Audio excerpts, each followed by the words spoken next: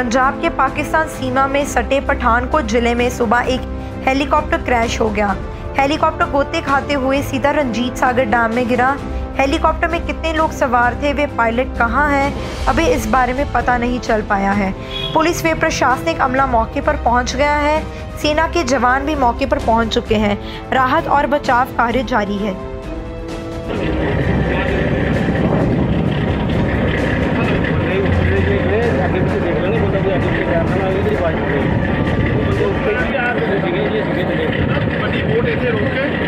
देखिए, अभी जो रिसेंट स्टेटस है, वो ये है कि हमारा रेस्क्यू ऑपरेशन चल रहा है। आर्मी एनडीआरएफ पुलिस जे के पुलिस पंजाब पुलिस, सभी लोग वहाँ पे रेस्क्यू ऑपरेशन में इन्वॉल्व हैं। डैम की जो रिसोर्सेज हैं वो वहाँ पे सारे।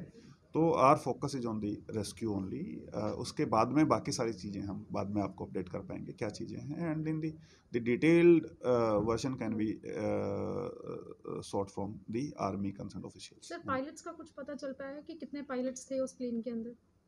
देखिए अभी तक जितनी मेरे पास इन्फॉर्मेशन है उसके हिसाब से ये जो चॉपर है उसके अंदर दो पायलट होते हैं। हम्म, और अभी हम we are trying to trace those as per the recent information I got अभी तक we have not been able to मतलब ट्रेस दैम तो अभी हम कर रहे हैं वी आर होपफुल मतलब क्या होता है, देखते हैं।